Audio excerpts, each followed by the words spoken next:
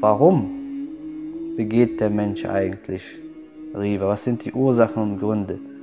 Denn wenn man etwas behandeln will, muss man seine Ursachen kennen. Erst wenn du die Ursachen eines Phänomens kennst, kannst du dieses Phänomen auch unterbinden. Zu den Ursachen der Riba Nummer 1, sich rächen. Das ist eines der Hauptursachen. Man möchte sich an jemanden rächen. Man möchte sein Mütchen kühlen. Das heißt, zwischen dir und einer Person gab es eine gewisse Anspannung. Es gibt da eine gewisse Form von Streit und Aggressionen.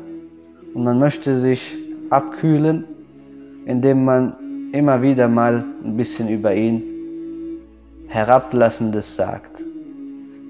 Man denkt, man hat sich damit etwas gut getan. Man hat sich so sozusagen ein bisschen abgekühlt, ein wenig gerecht an ihm. Und jedes Mal, wenn, ihn, wenn es dazu kommt, wenn, er, wenn sein Zorn wieder auflodert, dann versucht er das wieder ein bisschen abzusenken, indem er immer mal ein paar Häppchen von ihm verspeist.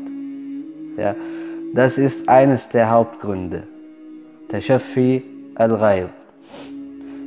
Das zweite, der zweite Grund, man möchte mit seinen, man möchte seinen Genossen einfach schmeicheln.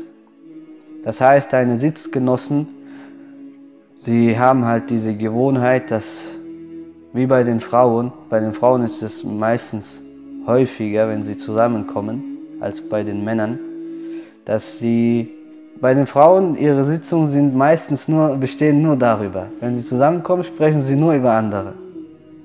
Das ist wirklich Realität. Jedenfalls, äh, man möchte bei seinen Sitzgenossen schmeicheln. Das heißt, er sagt, wenn ich wenn ich dagegen spreche oder nicht mitmache, dann werden sie eine gewisse Abneigung gegen mich empfinden oder sie werden mich unleidlich finden. Und dann macht er halt einfach mit, um bei seinen Sitzgenossen gut anzukommen. Und er denkt, das gehört halt zur guten Freundschaft. Drittens, das ist, äh, das hat, der, die dritte Ursache hat mit einer Krankheit, einer anderen Krankheit zu tun, die wir inshallah besprechen werden, nämlich die, die Hochmut. Hochmut und Arroganz. Er möchte sich selbst anheben, indem er sein Gegenüber erniedrigt. Verstehst du?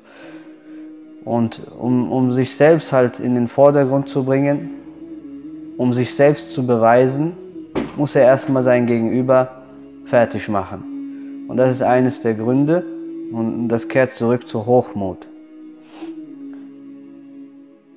Dazu gehört auch äh, diese Art und Weise, wie die Menschen übereinander und miteinander sprechen. Fulan ist ein Jahil. Fulan versteht nicht gut. Was will er damit eigentlich sagen?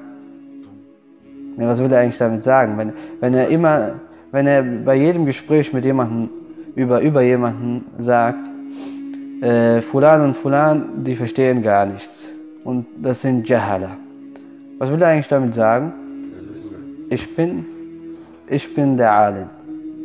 Ich bin der, der das ganze Verständnis der Erde geschluckt hat.